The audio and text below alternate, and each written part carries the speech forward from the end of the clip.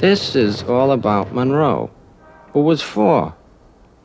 There was nothing unusual about Munro. He wouldn't wash his face. There's a good darling. No. Good dear. He wouldn't good, eat. Good dear. Come dear, dear No. darling dear. That's a He good, wouldn't dear, sleep. Good dear, No. darling dear. His was a stable, well rounded, fully integrated life. Then, one day, he received a letter.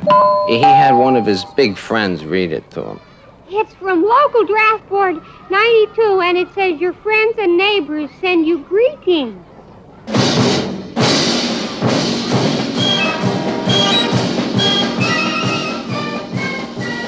So while the other kids played and chased and did exactly what was normal for them, Munro came to the shocking realization that at the age of four, he'd been drafted. Uh, the next morning, Munro went for his physical. Nah, they'll never take me. Oh, my back! I got a bad back, boy. Well, my doctor says army food will kill me. Are you kidding? Me in the army? Oh, boy. They want to let me off, I know. I got a verblinter of the spine. Oh, they have to let me off. They'll kill my mother. That me, mister? Now the left eye, now the right eye, that's all. Drop your shorts, now hop around on one foot, that's all. Any history of mental illness in your family? Okay, that's all. Munro tried to explain that he was just a little boy. But the doctors were too busy drafting a famous ball player to even notice him. Smile, Billy. Hey, Doc, pump his hand. That's it. Shake like you like him. Good. And so Munro was classified 1A. My father's got friends in the Pentagon. Well, I'm going to appeal. A fat lot they care about my mother, boy. That me, mister? Go home, settle all your business affairs. You'll hear from us in 21 days. Kindly step to the rear of the car, please. And so Munro went to war.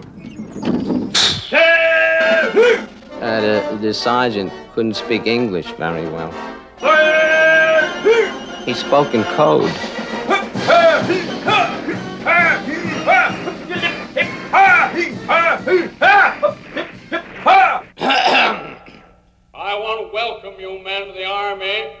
Meet us halfway, we'll meet you halfway. This is a time of world struggle. I'll explain the issues. Our side is in favor of God, the other side isn't. Any questions? It was all very simple. Even Munro could understand. Okay, this won't kill you. Move up. Okay, let's go. This won't kill you. Come on, move up. Let's go. Okay. Now Munro was a full-fledged soldier. He learned to play all the games that soldiers play, like like face. Right, right, left, right, up, face, down, face, in, face, out, face, first, face. Or, uh, or another game called uh, Take This Man's Name, where everyone must sweep and clean. And then the man who was it would walk past each bunk and say, Take this man's name. Oh, there were so many games to play. But poor Munro, oh boy, he was very tired. he went to the sergeant. I'm only four. I'm only four.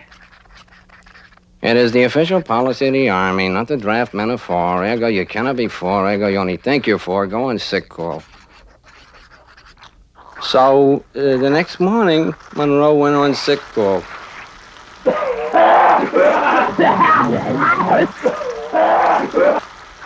Everybody's faking. Everybody's faking. Everybody's faking. You, what's wrong with you? I'm only four. How long have you been feeling this way? I'm only four. Open your mouth. We'll soon fix this. I'm four. Munro was sent on his way with a box of white pills and a warning to stop faking.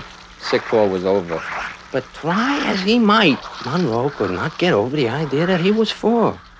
He went to the psychiatrist. I'm a lingerer, eh? Bucking for a psycho discharge, are you? I've handled your type before. He went to the chaplain. My son, you will find life here in the Army so much more rewarding if you make the best of it and decide to face realities. Let's have another chat real soon.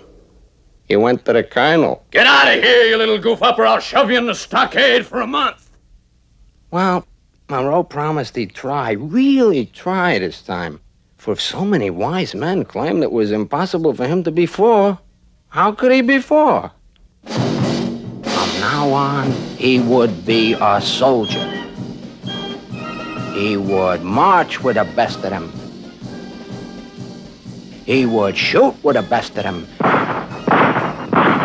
And if need be, he would go to war with the best of them.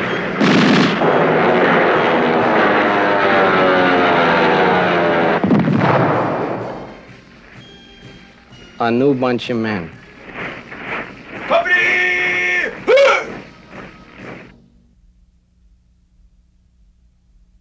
See that man? That's a soldier. That's what we're going to train you to be. We're going to separate the men from the boys. And Munro began to cry.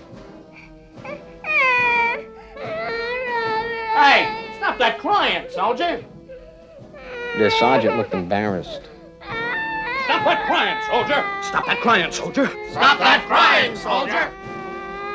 Then out came the general. Soldiers don't cry. Only little boys cry. Are you a soldier or a little teensy weensy crying baby boy? Yeah, Yeah. yeah, yeah. Obviously, then, you're nothing but a little baby boy. Obviously. Simple logic. And once they'd said it, Munro began to look different to them. I rule that this is a little boy. Of course. It's logical. A little boy. Sign here, just a simple release. The day Munro was sent home, they held a big parade in his honor. There were newsreel photographers and television and his mother and his father and all the kids in the neighborhood. And the general even read a message from the president. I hold no fear for our nation's future when even a mere lad of four is stirred strong enough by our cause to enlist himself in the service of his country. I'm from the American Legion. You want to join? Munro was a hero. Ah, his parents were so proud.